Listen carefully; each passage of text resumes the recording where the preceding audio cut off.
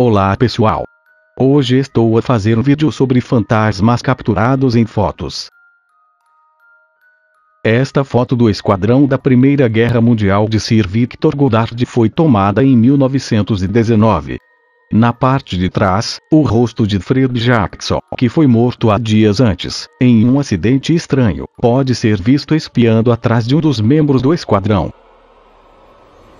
Esta foto foi tirada em 1959 pela senhora Mabel Schinnery no cemitério onde sua mãe está enterrada. A foto mostra claramente o marido sentado no carro, mas também há um homem misterioso à espreita no banco traseiro. Acham que é um fantasma. Esta foto foi tirada em 1997.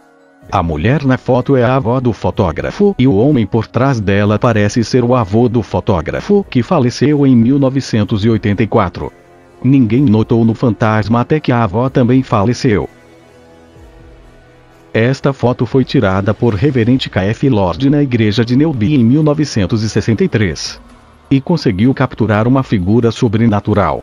Esta figura se parece com Ghostface do filme Scream. Será mesmo um fantasma?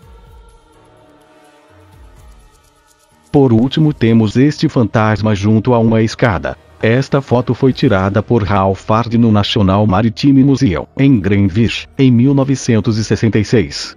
A identidade do fantasma é desconhecida. E você, teria coragem para descer essas escadas? Diga aí nos comentários e espero que tenha gostado do vídeo.